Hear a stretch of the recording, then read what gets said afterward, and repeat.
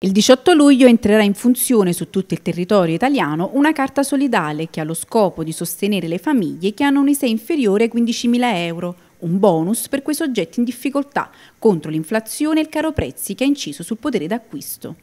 La carta è stata chiamata dedicata a te. Questa infatti non deve essere richiesta dagli interessati, ma la stessa INPS in collaborazione con il comune che ha individuato le famiglie bisognose, quelle quindi che rientreranno tra una settimana negli aventi diritto.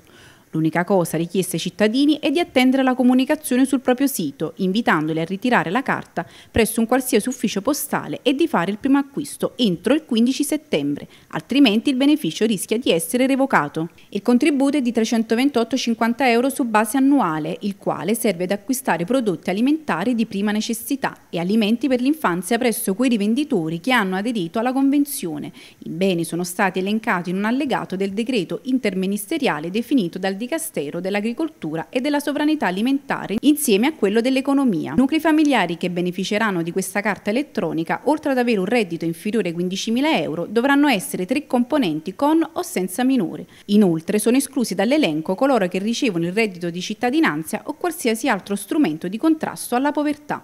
Le carte saranno distribuite nei comuni con un bilancio del 50% in base alla popolazione e con un 50% in base invece alla distanza tra il reddito pro capite nel comune e quello nazionale. In sintesi, le località più povere avranno più carte.